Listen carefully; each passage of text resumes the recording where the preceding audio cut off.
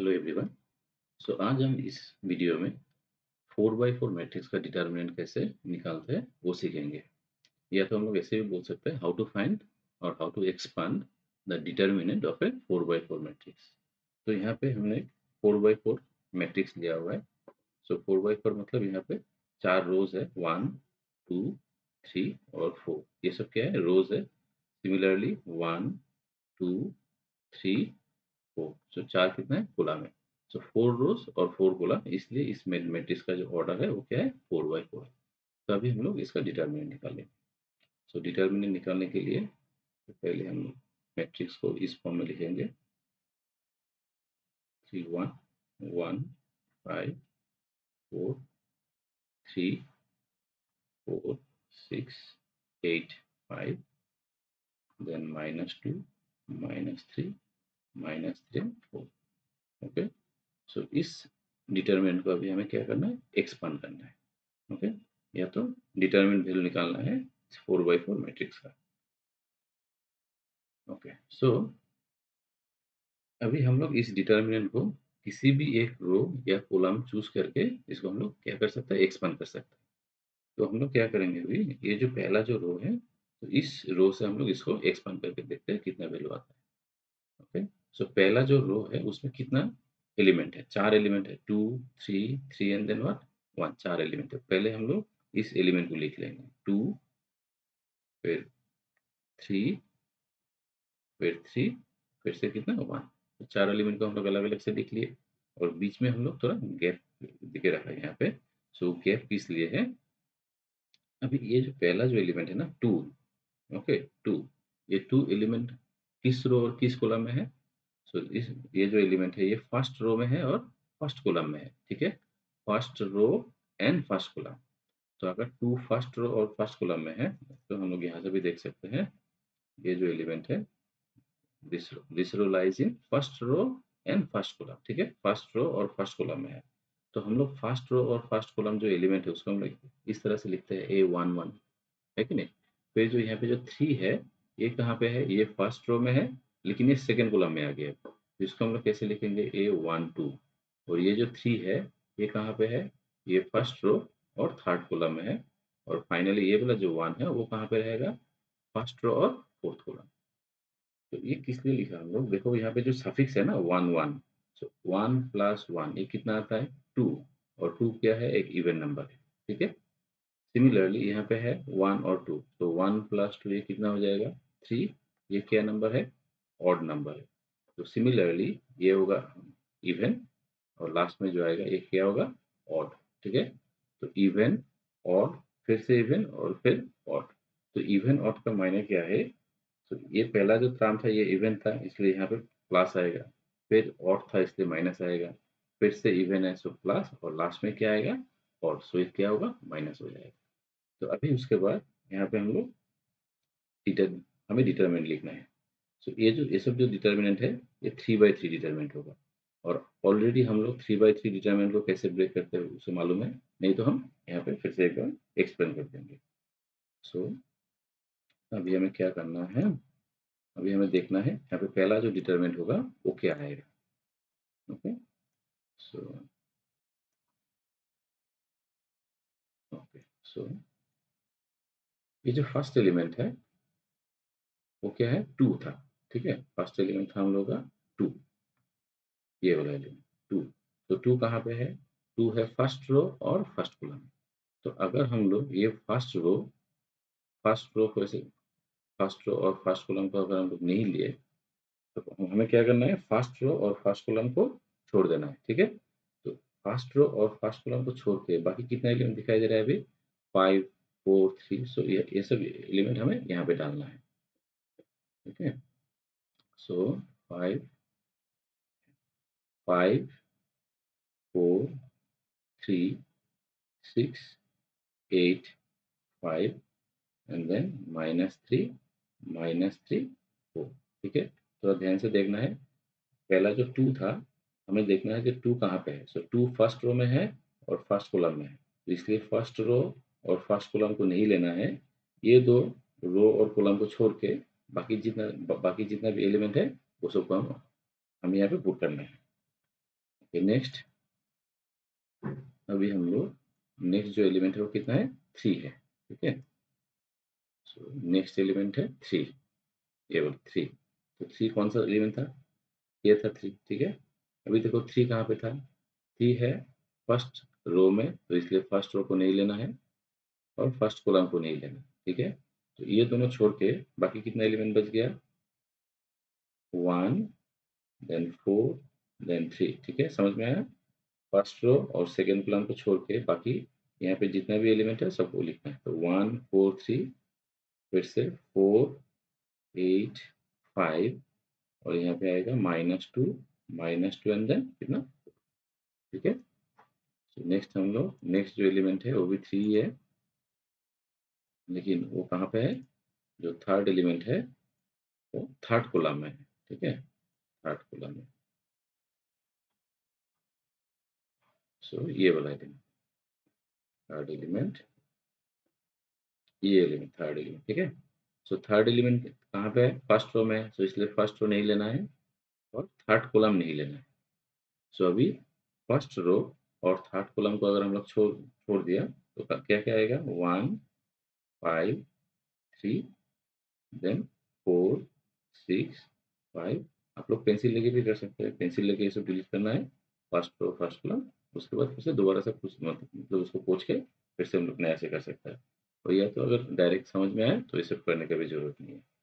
सो फिर minus two minus three and then कितना? Okay so last में लास्ट एलिमेंट है जो वन है, जो कि फ़र्स्ट रो और फोर्थ कॉलम में है। ठीक है? फ़र्स्ट रो और फोर्थ कॉलम सो ये एलिमेंट सो अभी हमें फ़र्स्ट रो को डिलीट करना है और फोर्थ कॉलम को डिलीट करना है। सो उसे छोड़ के कितना एलिमेंट आएगा? One five four then four six eight and then minus two minus three minus ठीक है? सो अभी यहाँ पे चार थ्री बाई थ्री डिटरमेंट आ गया।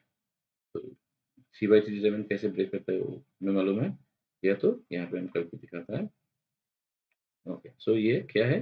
थ्री बाई थ्री डिटरमेंट तो जैसे हम लोग फोर बाई फोर डिटर्मेंट में पहल, पहला जो फ़र्स्ट रो का जो चार एलिमेंट था उसको लिखा था। तो यहाँ पे भी फाइव ये, ये, ये तीन एलिमेंट हमें लिखना है। Okay so five then four then कितना? थ्री ओके सो पहला एलिमेंट प्लस होगा क्योंकि first first row first column में वन प्लस वन टू होता है। फिर negative first row second column odd आएगा, फिर से क्या आएगा प्लस आएगा। तभी देखो five okay five first row और फ़र्स्ट कॉलम ये दो डिलीट करने के बाद कितना आएगा? एट फाइव माइनस थ्री और कितना? फोर ठीक है? तो ये टू बाई टू डिटरमेंट हो गया।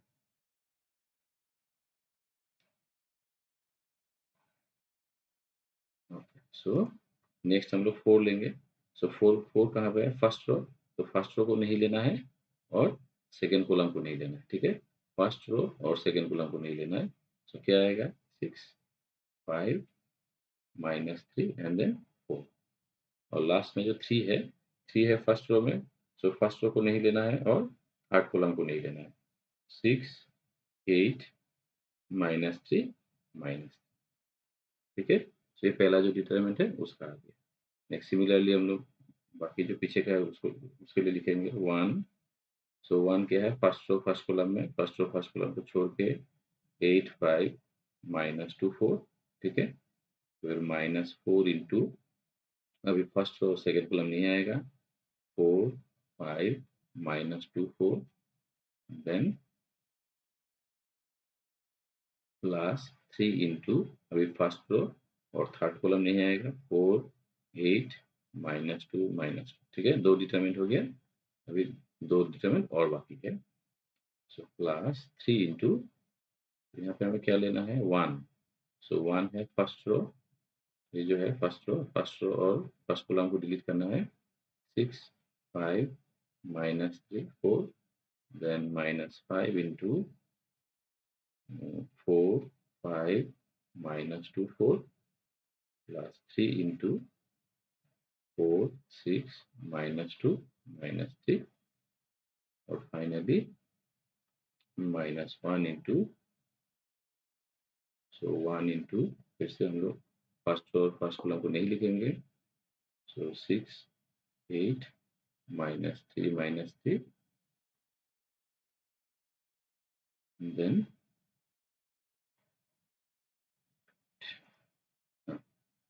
so minus 5 into minus 5 into first row second column नहीं आएगा 4 8 minus 2 minus 3 and then finally 4 into 4 6 minus 2 minus okay so अभी एकदम सिंपल सा आ गया इसका जस्ट ब्रेक करना है ठीक है सो so, पहला जो डिटरमिनेंट हो क्या आएगा 2 into फिर 5 32 plus 15 minus 4 into 6 24 plus 15 plus 3 into minus 18 plus 20 okay ये जो पहला डिटर्मिनेंट था मतलब इसका इसका जो एक्सपेंशन है, वो है, ये आएगा। फिर माइनस थ्री इंटू यहाँ पे कितना आएगा? Thirty two plus ten thirty two plus ten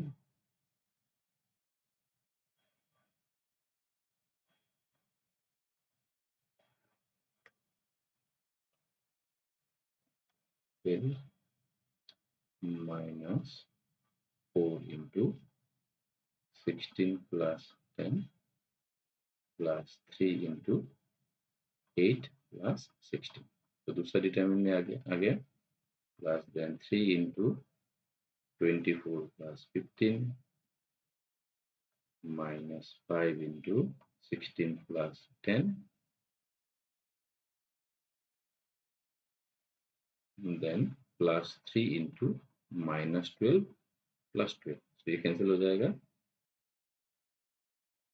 फिर last determinant so minus 18 plus 24 then minus 5 into minus 12 plus 16 and then 4 into minus 12 plus 12 okay? So अभी सिंपल सा कैलकुलेट करना इतना लंबा भी नहीं लिखना है, क्योंकि टू बाई टू डिटर्मिनेंट हमें मालूम है कैसे ब्रेक करना है। तो आप लोग इसको डायरेक्ट भी कर सकते हैं। सो डिटर्मिनेंट पूरा कैलकुलेशन होने के बाद इसका आंसर आएगा। ठीक है? सो आई होप आप सबको ये समझ में आ गया। कैसे फोर बाई फोर को determinant four by four determinant को कैसे एक्सपांड करता है? सो so, पहले फ़र्स्ट जो रो है उसको देखना है। पहला जो रो होगा उसका चार एलिमेंट पहले लिखना है। लिखे फ़र्स्ट जो एलिमेंट है वो पॉजिटिव आएगा क्योंकि वो इवन पोजिशन में है। फिर नेगेटिव फिर पॉजिटिव फिर फिर से नेगेटिव ओके तो फ़र्स्ट जो एलिमेंट होगा जैसे कि टू था यहाँ पे तो हमें फ़र्स्ट रो और फ़र्स्ट कॉलम को नहीं लेना है। बाकी जो थ्री बाई थ्री जो डिटर्मेंट है उसको बैठा है। तो इसी तरह बाकी तीन को लिख इसको जस्ट एक्सपेंड करना है। तो आई होप आप सब लोगों को ये अच्छा से समझ में आ गया। और अगर समझ में आए तो आपका दोस्तों को भी इसे शेयर करना। Thank you very much